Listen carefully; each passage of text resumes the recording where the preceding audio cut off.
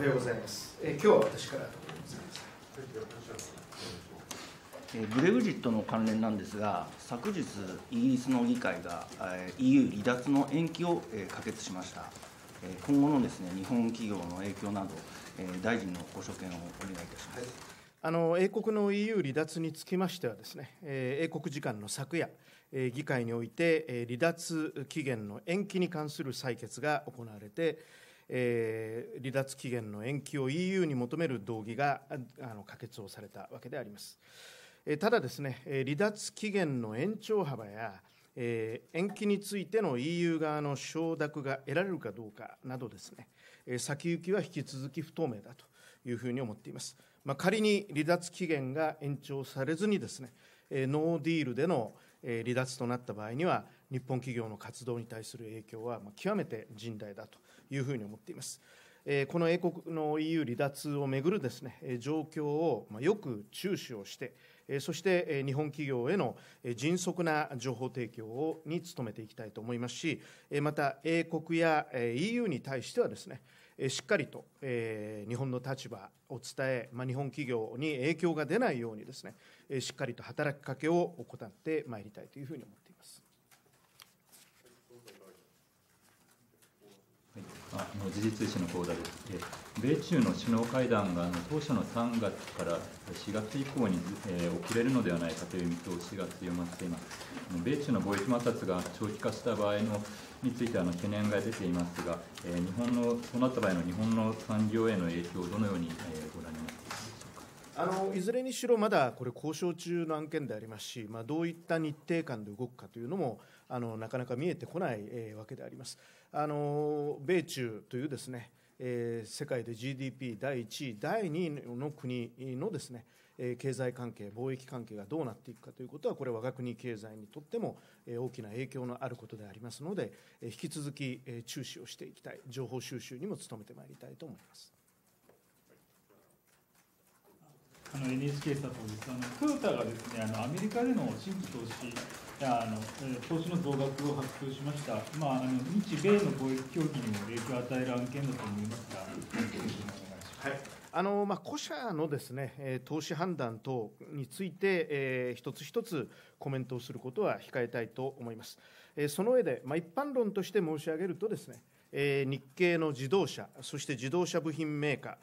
またディーラーはですね長年にわたってアメリカにおける企業活動を着実に進めてきているわけでありまして、まあ、今回のトヨタの発表もですねその一環だというふうに思っております。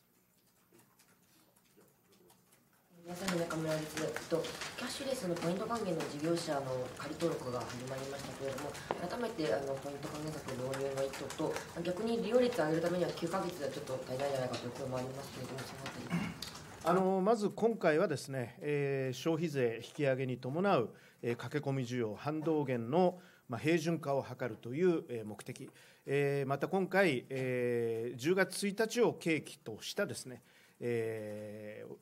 セールですとか、ポイント還元といったことを、まあ、今回は規制をしていないわけであります。そういった中でですね、資金力に劣る中小企業もですね、このポイント還元ということで、まあ、大手のセール等にですね、しっかり対抗できるチャンスを作るということ。そしてもう一つは、え世界に比べてですねまだキャッシュレスの利用率が20%という低いレベルにあるこの日本のキャッシュレスの状況をですね引き上げるということが重要だというふうに思ってこれそれが今回のキャッシュレスに関して中小企業のポイント還元を応援するという政策の目的であります。あの応援をする支援策についてはですねこれは必ずどこかで期限を設けざるを得ません。これ永遠に行っていてはですね消費税を上げること自体の意義が問われることになるわけであります。今回は9ヶ月終わった直後にはオリンピック・パラリンピックが行われてですね特にインバウンドの需要とかそういったことが望まれる。そういったタイミングに、えー今回の還元策を一つの区切りをつけるということでですね、えー、その時点での激変を緩和できるんではないかというふうに思っております。で9ヶ月間とはいえですね今回端末の支援等も手厚く行わせていただいておりますキャッシュレス端末などがですね中小小規模の小売店等に普及するということはそれだけ受け皿ができてそれはずっとその後も残っていくわけであります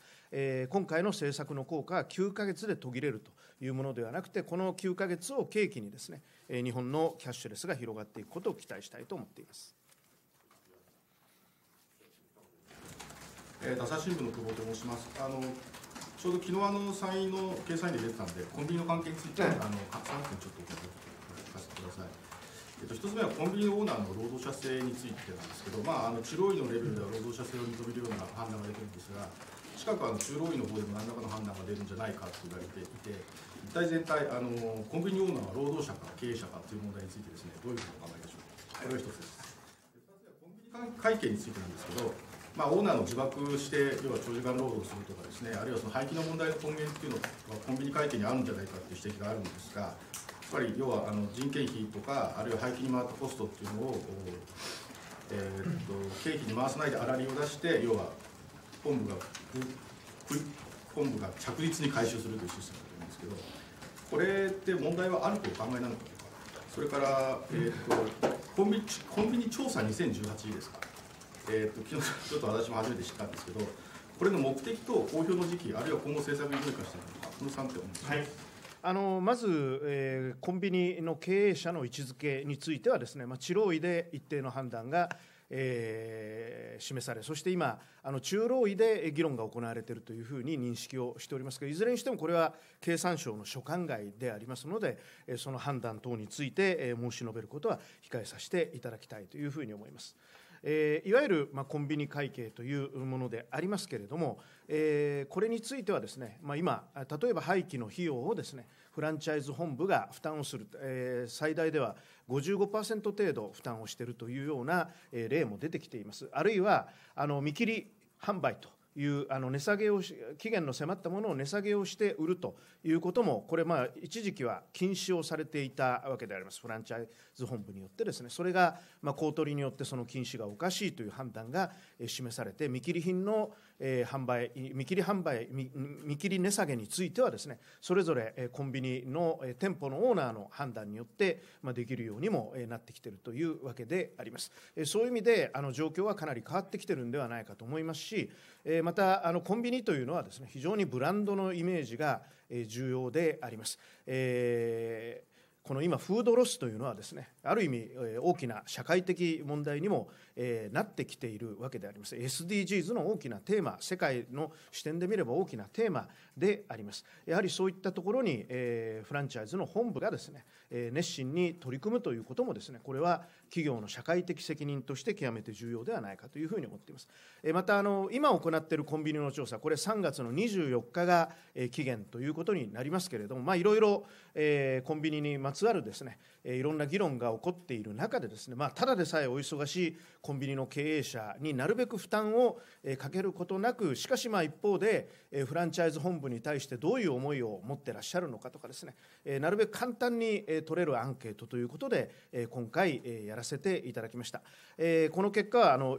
できるだけ早いタイミングで取りまとめれば公表もしたいというふうに思ってますし、まあ、その結果を踏まえてですねもし必要であれば、まあ、さらに深い調査はですね、えやってみたいというふうに思っています。経産省としてももうこの社会のインフラとなっているそしてまた災害等の時にはですね大変お世話になっているこのコンビニの実態把握ということについてはですねあの引き続き努めてまいりたいというふうに思います。でまたあのコンビニ本部とですね、え小売店オーナーは決して敵対関係ではないわけであります、えコンビニ本部があるからこそオーナーも経営ができているという面もありますしコンビニ本部からすればですね、えオーナーの皆さんが頑張っていただけるから経営が成り立っているわけでありまして、えコンビニ本部と、えそれぞれ店舗のオーナーさんがですね共存共栄ができるような形になっていくことが望ましいというふうに思っています。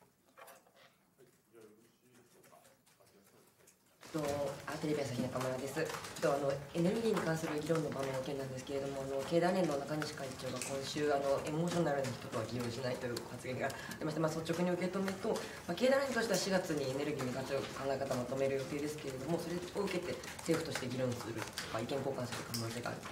あの中西会長はですね、まあ、私もよく存じ上げている大変立派な経営者であります、えー、日立に関してもですねコーポレートガバナンス改革など徹底して行われている。あの大変私はオープンでフェアな方だというふうに思っています。えまたエネルギーに関してもですねこの2050年に向けての戦略づくりの時にですね有識者として参画をされました。この模様はあの全部議事録も公開をされておりますので、えよく見ていただきたいと思いますが、え例えばこう原発に距離を置いてる方の意見にもしっかり、え耳を傾けてですね、え本当にあのフェアでオープンな議論に大変なご貢献をいただいたというふうに思っております。その中西会長がですね何か特定のグループの方々の意見を封じるとかですねそういうことは考えておられるわけもないというふうに思っております。